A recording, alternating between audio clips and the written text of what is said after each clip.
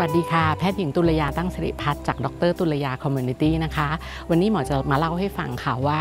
เราสามารถรักษาสายตายาวตามอายุได้หรือไม่นะคะ เมื่อคนเอเชียนะคะอายุ 40 ปีขึ้นไปอะค่ะ จะเริ่มมีลักษณะว่าตัวเองโฟกัสภาพใกล้ไม่ชัดนะคะ บางทีต้องยืดแขนออก บางทีเห็นภาพซ้อน หรือว่าต้องเปิดไฟสว่างขึ้นในการอ่านนะคะ อันนี้ค่ะเขาเรียกว่าโรคสายตายาวตามอายุเป็นตามธรรมชาติ มันเกิดจากการที่กล้ามเนื้อรอบตาที่ทำหน้าที่เพ่งนั้นอ่อนแอลงนะคะ และการเพ่งที่แย่ลงนั้นเนี่ยค่ะ มันก็จะแย่ลงทุกปีเลยค่ะ ไปเรื่อยๆนะคะ โรคนี้เรียกว่าสายตายาวตามอายุ แล้วเราจะแก้ไขปัญหายังไงได้บ้างนะคะ วิธีการแก้ไขแก้ไขได้ 2 จุดค่ะ ที่แรกคือที่กระจกตาและที่ที่2เนี่ยคือที่เลนส์นะคะ ที่กระจกตาทำยังไง เราสามารถที่จะทำ PRK LASIK SBK Femto Second Laser หรือ Relax Smile ได้ แต่ในการทำนั้นนะคะ ต้องรักษาให้สายตาสั้น ทิ้งไว้ข้างหนึ่งค่ะ เรียกว่าโมโนวิชันอันนี้ท่านผู้ฟังคงจะได้ยินมา เยอะพอสมควรแล้วในการเล่าเรื่องของหมอที่ผ่านๆมานะคะ ส่วนการแก้ไขอีกที่หนึ่งคือที่เลนส์ค่ะ เราสามารถที่จะผ่าตัดนะคะเอาเลนส์ธรรมชาติออก แล้วก็ใส่เลนส์แก้วตาเทียม ซึ่งเลนส์แก้วตาเทียมเนี่ยก็จะมีเลนส์รูปร่างลักษณะเรียกว่า multifocal นะคะ ซึ่งจะช่วยในการอ่าทำให้เราพึ่งแว่นอ่านน้อยลงนะคะ อันนี้ก็เป็นเทคโนโลยีของเลนส์ที่ค่อนข้าง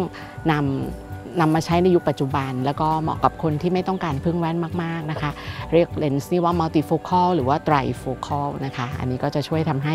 พึ่งแว่นใกล้น้อยได้นะคะ จะเห็นว่าเทคโนโลยีปัจจุบันเนี่ยค่อนข้างตอบโจทย์คนที่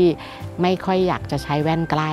แต่เราอะไม่สามารถที่จะปลอดแว่นได้ไปสัทีเดียวหรอกค่ะ บางทีเพื่อที่จะให้เห็นภาพชัดเนี่ยเราก็อาจจะต้องจำเป็นต้องใช้แว่นได้บ้างนะคะ ถ้าเข้าใจตามนี้แล้วเราจะเป็นคนไข้ที่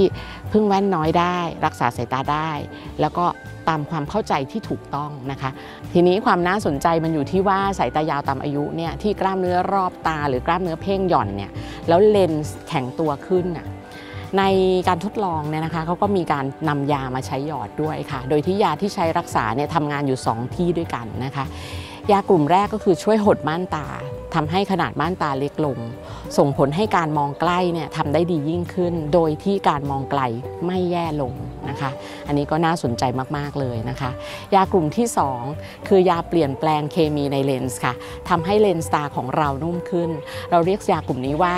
lens softening eye drop นะคะ ซึ่ง lens softening eye drop เนี่ยก็จะเชื่อว่าทำให้เลนส์ตานั้นนุ่มขึ้น ความสามารถในการยืดหยุ่นกล้ามเนื้อก็จะทำให้การมองใกล้ได้ดียิ่งขึ้น ดังนั้นจะเห็นว่าการรักษาสายตายาวนั้นเนี่ยมีทั้งการใช้ยาแล้วก็มีทั้งการผ่าตัดนะคะ แต่การใช้ยาเนี่ยส่วนใหญ่ยังไม่ได้ลอนช์ออกมาในคอมเมอร์เชียลมากนัก เพราะว่ายังอยู่ในยังอยู่ในห้องแลบอยู่นะคะ